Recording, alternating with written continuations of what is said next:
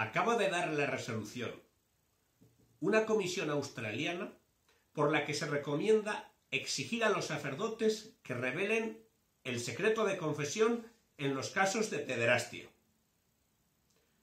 Siguiendo este consejo, tiramos por tierra el sentido clave de lo que es la confesión. Una conversación con Cristo no para hacer la justicia del mundo, sino para pedir perdón delante de Dios. Otra cosa será lo que la justicia investigue o lo que la misma Iglesia condene a los que lo hacen, pero sin servirse del sacramento. Cuando nos confesamos estamos hablando con Jesucristo.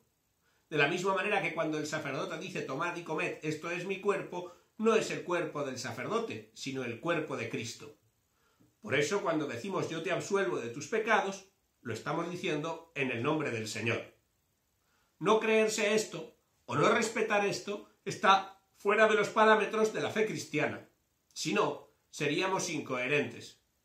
Estaríamos traicionando el secreto profesional que también respetan médicos, abogados, etc.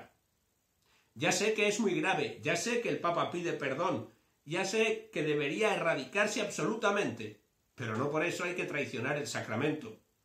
Lo que tenemos que hacer es investigar, prohibir, cercenar esos vicios que no solamente están en la Iglesia, sino en mucha parte de la sociedad.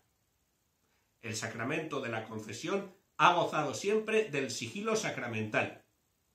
Acabo de oír un vídeo de Romer Reports que termina diciendo que el sacerdote está obligado a olvidarlo.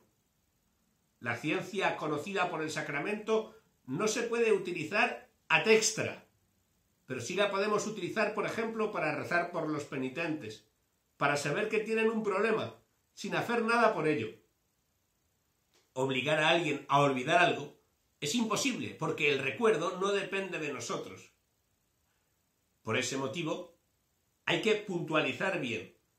Está prohibido decir nada, ni hacer referencia al penitente con su pecado, pero sí se podría hablar de los pecados que hay en una ciudad o en un lugar, sin dar explicaciones ni pormenorizar, aunque es mejor no hacerlo.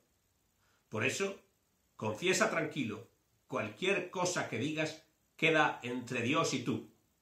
Pero Dios ha querido que el perdón lo pidamos a través del confesor. El que dice yo me confieso directamente con Dios, en el fondo lo que está haciendo es buscar una excusa para no arrepentirse, para no avergonzarse de lo que está mal. Espero que haya quedado claro y si no, te contesto en los comentarios. No olvides compartir algo que puede hacer bien a los demás. ¡Feliz día!